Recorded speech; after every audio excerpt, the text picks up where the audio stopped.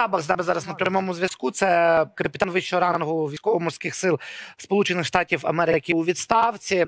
Сьогодні Гаррі, ви Офіцер НАТО також. Офіцер так НАТО. Е, Сьогодні ви в одному зі своїх інтерв'ю сказали, що безумовно вважаєте, що Україна переможе, але потрібно більше допомоги заходу. І як е, якої саме допомоги потрібно заходу військової? Ну і також сьогодні президент Зеленський попросив бодай 1% військової техніки, яка є у наявності у НАТО, для того, аби пришвидшити перемогу України. Як ви гадаєте, погодяться вони на, на таку пропозицію? Я, к сожалению, не понял вторую часть, что вы говорили. Вы говорили очень быстро, и я по-украински, к сожалению, не понимаю, что меня и приводит к вашему предыдущему разговору, что сегодня война идет не только а, а, на поле боя, где украинцам уже, по-моему, миру не надо доказывать, какие они доблестные воины и как грамотно они сегодня воюют. Я, конечно, говорю в общем, можете мне сказать, что там плохо, здесь плохо. Ну, в общем, говорю, ну вы проигрываете информационную войну. Опять же, я это говорю как человек, который не знает своего родного языка, потому что его не научили, потому что это было опасно, не модно и все остальное. И я, конечно же, тоже за английский язык. Но информационную войну, как и Израиль, вы проигрываете из-за того, как раз языковую, потому что из языка миллионы людей в моем окружении, где я живу, в Израиле, в Германии, во всем Советском Союзе не понимают, что вы говорите, поэтому они слушают только российскую пропаганду. В Израиле есть целые каналы, которые говорят на арабском языке вещать, чтобы арабы их тоже слышали. Вас никто не слышит, вашу правду. Слышат только русскую, российскую. Ну, это моя. Я хотел бы сказать, вот человек, который был в военном мундире, сидел, вот я тоже говорю, называйте как хотите, делайте, что хотите. Это сегодня не важно. Сегодня я вам желаю сегодня, чтобы это была у вас самая большая проблема. Говорят, в Украине или на Украине, украинец или украинец. Потому что это уже все периферия. Сегодня вы деретесь.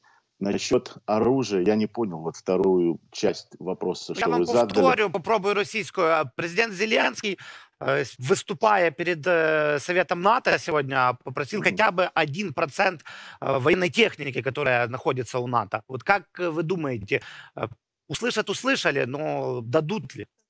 Да, вот это большой вопрос. Услышать-то они услышали. И почему уже три недели, уже месяц, сегодня месяц, как идет это убийство гражданского населения Украины, не спровоцированное ничем. И НАТО, и остальные ст- стоит и смотрит. Более того, что стоит в стороне и смотрит, а еще не дает другим странам, другим коалициям вам дать оружие, которое вам нужно, чтобы создать противовоздушную оборону. Самое главное, что вам нужно. Обещают, обещают, но этого не делают. И, конечно же, это напоминает Третью мировую, а, это напоминает Вторую мировую войну, и пока не осознают, что не политики, политики этого никогда не осознают, пока не осознает мировое общество, как и во Второй мировой войне, что уже идет Третья мировая война. Третья мировая война между Россией и всем остальным миром. Правда, за весь остальной мир воюет пока что только Украина, и воюет доблестно, и воюет тем, что у них есть. Конечно же, самое главное, это чтобы закрыли небо, чтобы остановить это убийство гражданского населения и э, инфраструктуры украинской.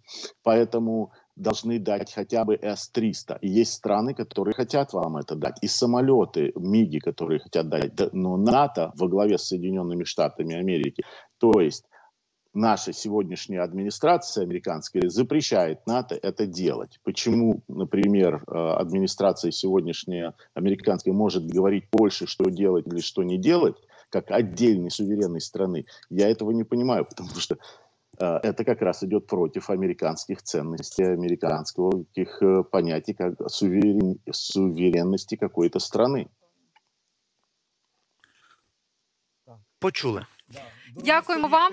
точка зору. Об'єктивна. Ми Багато думаємо, різних не Вона є. об'єктивна, Так. так. е, Не Так. об'єктивна. У нас насправді вже 5 хвилин залишається до завершення нашого етеру. А, В цьому ефірі ми намагалися поговорити про цей місяць е, повномасштабної війни в Україні, яким він був, е, що нам чекати далі. Чули різні думки. А, Розуміємо, що ми всі